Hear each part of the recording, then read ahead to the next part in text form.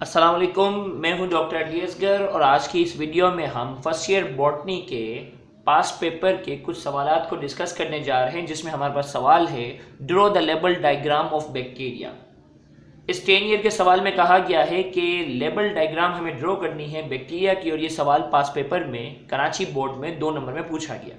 ये सवाल 2006, 2007 और 2012 में पूछा गया है.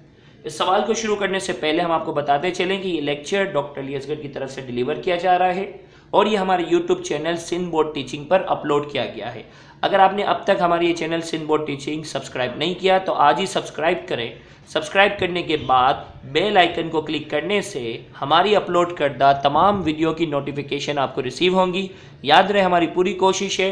First year chemistry physics biology second year physics chemistry और बायोलॉजी से रिलेटेड वो तमाम सवाल जो एग्ज़ाम के लिहाज से काफ़ी इंपॉर्टेंट हैं, उनको बहुत जल्द वीडियो की शक्ल में हम अपलोड करें।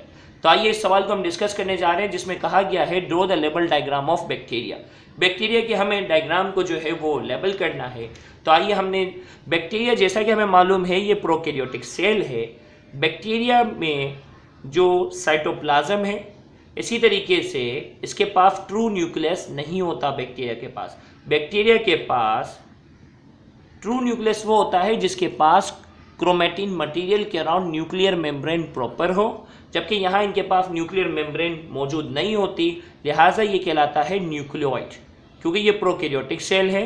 इन्हें हम न्यूक्लियोइड कहते हैं, या इसे क्रोमेटिन बॉडी का भी नाम दिया जाता है। क्योंकि इनके पास ट्रू न्यूक्लियस नहीं होता तो इनके पास न्यूक्लियोइड या क्रोमेटिन बॉडी मौजूद होती है। इसी तरीके से इनके पास जो है आउटर साइड पर जो है, वो सेल मेम्ब्रेन मौजूद होती है। सेल मेम्ब्रेन के आउटर साइड पर सेल वॉल मौजूद होती है। सेल वॉल और कुछ बैक्टीरिया के पास कैप्सूल मौजूद होता है। ये कैप्सूल बैक्टीरिया की पैथोजेनिसिटी को बढ़ाने में किरदार अदा करता है, यानी उसकी बीमारी कोस करने की एबिलिटी को बढ़ा देता इसी तरीके से कुछ बैक्टीरिया जो है, उनके पास फ्लेजला होता है। ये फ्लेजला बैक्टीरिया को लोकोमोशन में हेल्प करता है। तो यहाँ हमने इसको लेबल किया, ये जो है वो फ्लेजला है। जो हर बैक्टीरिया के पास मौजूद नहीं होता, जिनके पास मौजूद होता है, उनके अंदर ये लोकोमोशन में हेल्प करता है। इसी तरीके से हमने यहाँ इन्हें साइटोप्लाज्म को लेबल कर दिया। दिस इज़ साइटोप्लाज्म और बैक्टीरिया के पास होलो स्ट्रक्चर होते हैं, जो कि फ्लेजला के मुकाबले में थोड़ी छोटी साइज़ पे होते हैं, ये रिप्रोडक्शन में हेल्प करते हैं। ये कॉन्जुगेशन में हेल्प करते हैं, जिन्हें हम कहते हैं पाइली और बैक्टीरिया के पास प्लाज्मा मेम्ब्रेन की कुछ इनफोल्डिंग्स होती है, जिन्हें हम कहते हैं मीसोजोम ये मीसोजोम जो नज़र आ रही होंगी, ये फोल्डिंग है, ये फोल्डिंग है, ये फोल्डिंग है. और ये मीसोजोम जो है, ये रेस्पायरेशन में हेल्प करते हैं बैक्टीरिया को.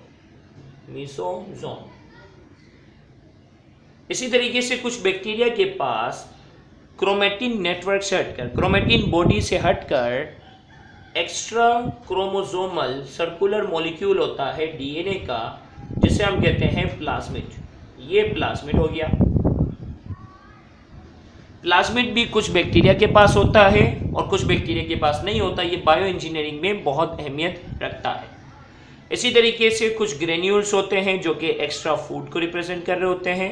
तो यहाँ हमने ये जो रेड कलर के डॉट बनाए हुए हैं ये ग्रेन्यूल्स हैं, जो कि बैक्टीरिया के अंदर एक्स्ट्रा फ़ूड को रिप्रेजेंट करते हैं।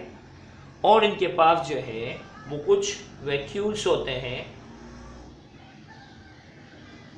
जो कि यहाँ हमने ब्लू राउंड से यहाँ ड्रॉ किया। अगर आपको हमारी ये वीडियो समझ में आई है तो हमारे इस चैनल को सब्सक्राइब करना मत भूलिएगा। थैंक यू वेरी मच अल्लाह हाफिज़।